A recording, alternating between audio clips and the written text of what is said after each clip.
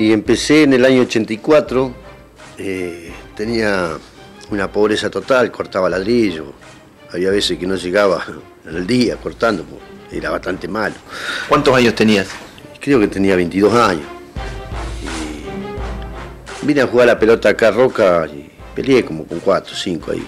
¿En un partido de fútbol? Sí, en un partido de fútbol, así que ahí, bueno, la gente te ve, ¿viste? Pero uno como es bruto y cargaba camión a pala para los hornos, tenés mucha fuerza en los brazos, pareciera un tipo que hace pesa y bueno, cargaba unos sopapos, los revoleaba la mierda.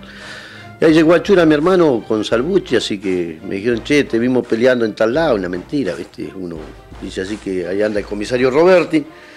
Eh, si no venía al gimnasio el lunes a tal hora, eh, te vamos a llevar preso. Y bueno, así que de alta barda me venía al gimnasio a las 8.27 y empecé. Sí, mi primera pelea de amateur la hice en el, en el Deportivo Roca, en el Bajo Cero. Empaté esa pelea y, bueno, de ahí me quedó gustando me quedó gustando y empecé a entrenarme, empecé a hacer caso, empecé a correr a la mañana, lo que me decía Salbucci lo hacía y, bueno, empecé a salir adelante. Eh, bueno, he peleado, he recorrido y como gracias a Dios he conocido varios lugares que a veces de la pobreza que uno tiene, con la plata que tiene no va a alcanzar a llegar ni a Gómez, pero bueno, gracias al voceo he conocido muchos lugares. ¿En qué momento tomaste la decisión vos y la gente que estaba con vos de comenzar a hacer boxeo profesional después de cuántas peleas amateur? Y yo de los 22 años debuté a profesionales a los 24 años porque ya se me iba la edad, o sea, eh, hice 14 peleas nomás de amateur y debuté a profesional con un tal chamorro, un, un correntino, eh, en Centenario, empaté esa pelea, entonces ya a la gente le quedó gustando el nivel vocístico que estábamos llevando y bueno, ya empezamos a hacer buenas peleas. ¿Cuál fue la pelea que más recordás de tu carrera como boxeador?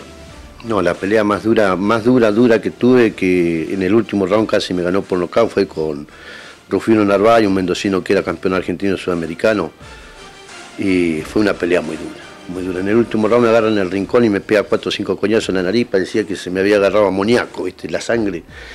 Y terminó el round. ahí sí que me salvó la campana.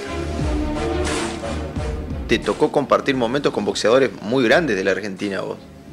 Sí, todo campeón. Acá no había el perro de, de la vecina, acá eran campeones y la gente te exige te exige. Cuando vos vas, no, trajeron un muerto, no, le trajeron a este. Es una mentira. Es una mentira. Morocho, ¿vos viviste un tiempo con un histórico boxeador de la Argentina? Sí, viví seis meses en Buenos Aires con Koji cuando era campeón del mundo. Ahí fue que me, me suspenden una pelea en Italia. Eh, Santos Zacarías me saca el pasaporte, la cédula federal. Después se me supone una pelea en la India. Y bueno, yo creo que a veces cuando tenés que ser pobre, sos pobre.